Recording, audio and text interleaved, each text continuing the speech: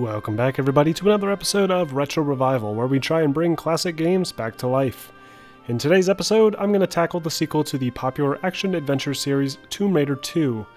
I originally wanted to make this video a while ago, but I couldn't for the life of me figure out how to get the widescreen resolution to function correctly.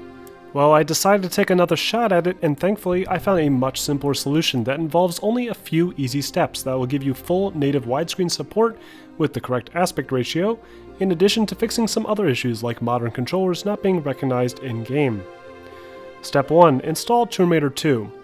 If you haven't already, you can buy Tomb Raider 2 on Steam for $7, but you're probably better off waiting for a big sale on the bundle. Step 2. Download Peixoto's patch. Use the link in the description to find this purple forum page and download the patches in that post by Peixoto. It's a collection of injectors that can fix a number of games, including several old school Tomb Raider games.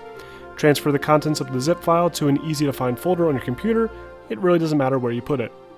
Step 3. Open the help.exe. To use Peixoto's patch, click on the help.exe file and it'll boot up a program with a bunch of old games listed on the side.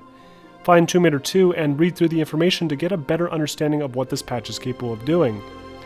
Step 4. Download and run the multi-patch.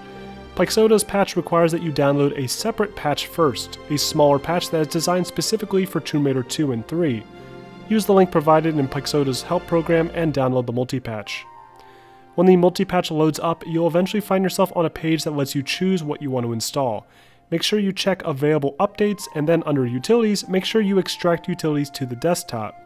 This patch is designed for the disk versions of the game, and since we're actually running the digital Steam version, we're going to want to get the files and install them directly into the Steam Tomb Raider 2 directory. Drag the files into the directory and overwrite any pre-existing files there to install the multi-patch. Step 5. Configure help.exe.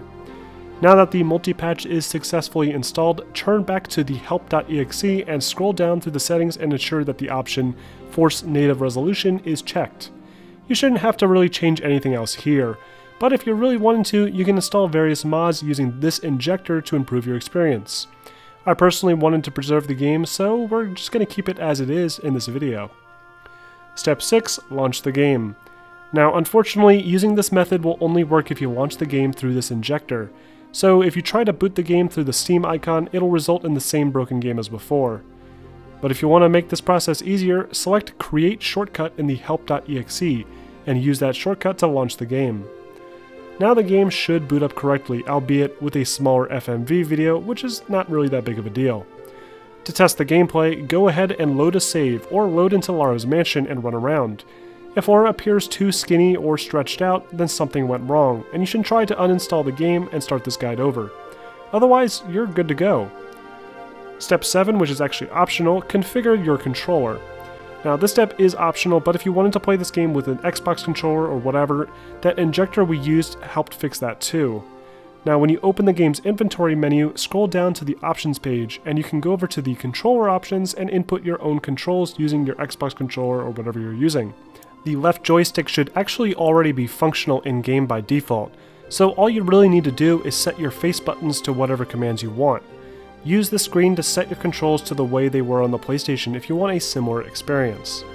And that's it, now the game should run perfectly at a native resolution with full controller support and hopefully no issues. So let's go ahead and run through the steps briefly. Step 1, install Tomb Raider 2. Step 2, download Peixoto's patch. Step 3, open help.exe. Step 4, download and install the Tomb Raider multi-patch.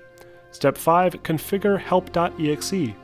Step 6, launch the game, and Step 7, which is optional, set the controls. And that's how you get Tomb Raider 2 running on modern hardware in 2017, with a native widescreen resolution and basic controller support. You can actually even run this game at 4K, which is pretty cool. If you have any suggestions, feel free to let me know, but in the meantime, I hope this video was helpful, and be sure to like and subscribe for more Retro Revival.